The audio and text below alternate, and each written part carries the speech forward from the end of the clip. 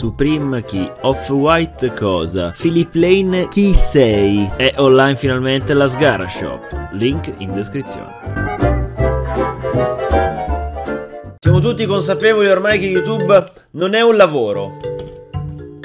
Comunque io vi chiedo 20.000 mi piace per non fare niente. Ma soprattutto, che gli youtuber non stanno lavorando veramente. Chi annusa le ascelle di lavoro, che cosa sta facendo in realtà? Lo sta facendo per lavoro o per passione?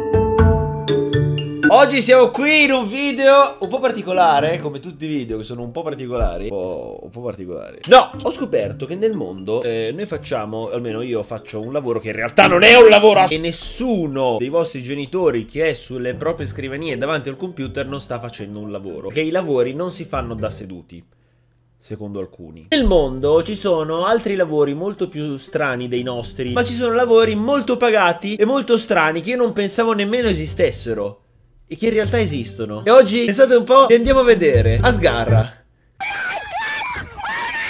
Esiste una figura in Giappone che si chiama il Professional Pusher. In che senso, scusami? In che senso?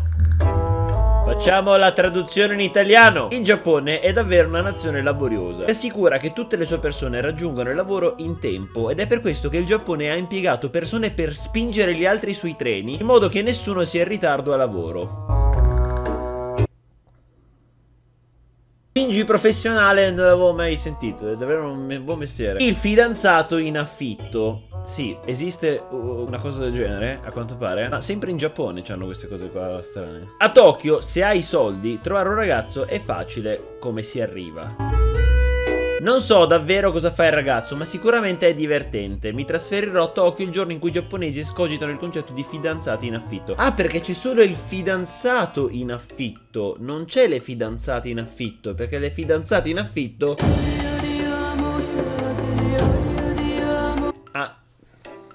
noto intellettuale italiano ha detto in una trasmissione televisiva tutte le strade portano a Troia! Però credo che una cosa del genere le fidanzate in affitto non esiste perché esistono già in realtà ma si chiamano in un altro modo. Vediamo se l'avete capito. Stand in liner professionale. Questi freelance attenderanno serenamente in lunghe code per te No, davvero. No, ma davvero? Ragazzi, questa è la rivoluzione. Effettivamente noi potremmo prendere queste cose qui e eh, riadattarle in Italia. Cioè, ci sono delle persone che fanno la coda per te. Cioè, tu magari devi andare in posta, sei un vecchio, devi andare in posta a prendere lo stipendio, chiami il giapponesino che si mette in coda per te. E poi tu arrivi con la calma, perché tanto alle poste passano anni. Sappiamo gli impiegati delle poste, per quanto mi riguarda, io ho avuto sempre una bellissima esperienza con gli impiegati delle poste posto. Ma sorvoliamo Lo sleeper professionale. Praticamente questi tizi qui sono pagati per dormire. Ragazzi io lo faccio pure gratis i dormienti professionisti si appisolano mentre gli scienziati conducono ricerche sui disturbi del sonno. Questo deve essere indubbiamente il lavoro più comodo del pianeta. Perché non devi fare un... Secondo me ragazzi queste figure qui sono super pagate pure perché sono mestieri strarari. Io mi propongo, avete la mia email commerciale sotto in descrizione, contattatemi. Ospite di matrimonio. E ragazzi, e ragazzi, e ragazzi. Io sono uno dei massimi esperti di ospiti di matrimonio nel mondo. Non in Italia, nel mondo. Io sono uno dei massimi esperti di start di applausi. Non ce n'è uno migliore di me.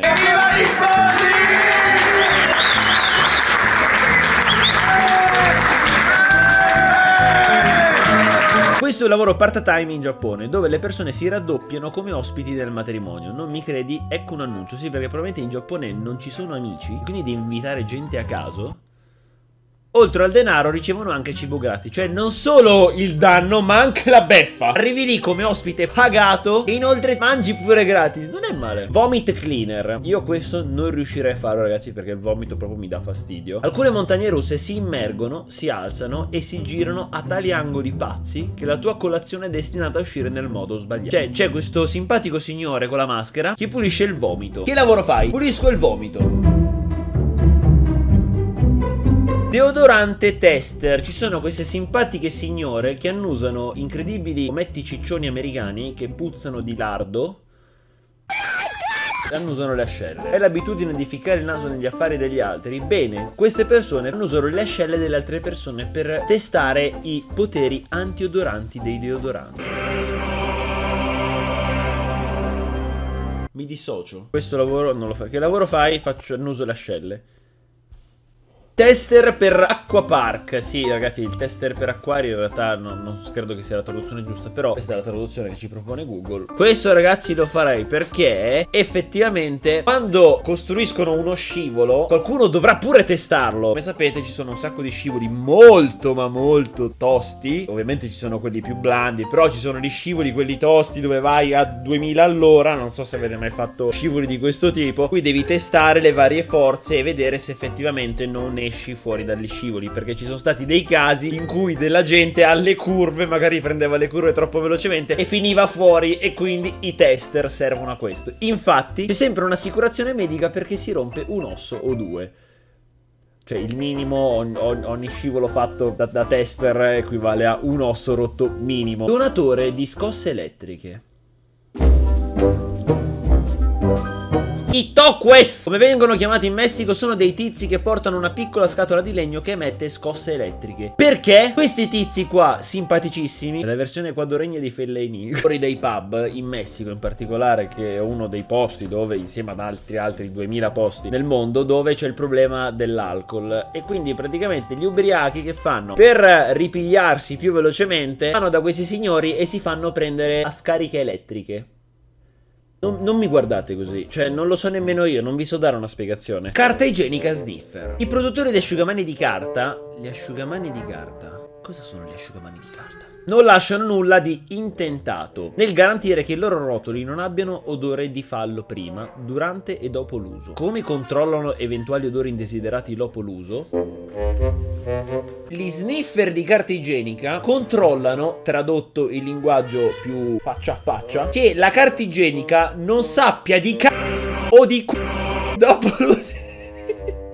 E quindi il problema sta, ma come fanno a testare che effettivamente non odori più di quella roba lì? Solo vivendo lo scopriremo. Sexer di pollo. In, in, che senso, scusa? Il lavoro di un venditore di pollo è quello di identificare il sesso di un pollo bambino. Questo è tutto. Ah, Cuddler professionista. Questo, secondo me, come dalla foto, è molto interessante. Se ti capita di essere in Giappone, mai stato, e ti manca la tua ragazza... Non sono mai stato in Giappone. Dai un po' di soldi e arrivi a coccolarti e dormire accanto a una donna giapponese. Solo coccole, attenzione. E...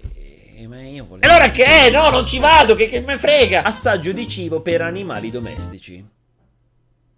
Preferisco non approfondire. Il guida carro è il classico parcheggiatore abusivo che vive al sud d'Italia. Come un parcheggiatore abusivo in Italia ti controlla la macchina. Ti controlla. Cioè tu sei obbligato praticamente a pagarlo perché sennò ti riga la macchina. Però il guida carro almeno si assicura che la macchina non venga rubata. Non andrò mai in Costa Rica. Con la macchina soprattutto. Il tester di letti di russo trascorre dalle 10 alle 18 in vari letti. Scrive delle recensioni sulla sua esperienza ed è pagata da da qualche parte intorno a 1000 pounds al giorno. Eh ragazzi, ma, ma, abbandoniamo YouTube che non è un lavoro, andiamo a fare i tester del letto. Mamma mia ragazzi, il lavoro mie dei miei sogni. Perché dormo e... Toiletfinder.com sta cercando partecipanti disposti a scrivere recensioni divertenti dei bagni pubblici. Sarai profumatamente ricompensato con la somma di 50 pounds al giorno, ma è solo a New York, quindi non ti illudere. Evidentemente ti fanno andare nei bagni più sudici della storia dei bagni per 50 dollari al giorno, che non è na, male. Terapeuta di risate. No, io beh, non faccio ridere, quindi non sono un terapeuta di risate. Pare che ci siano dei, degli esperti e che vi fanno ridere perché se voi ridete meno di 17 volte al giorno siete tristi! Tristi!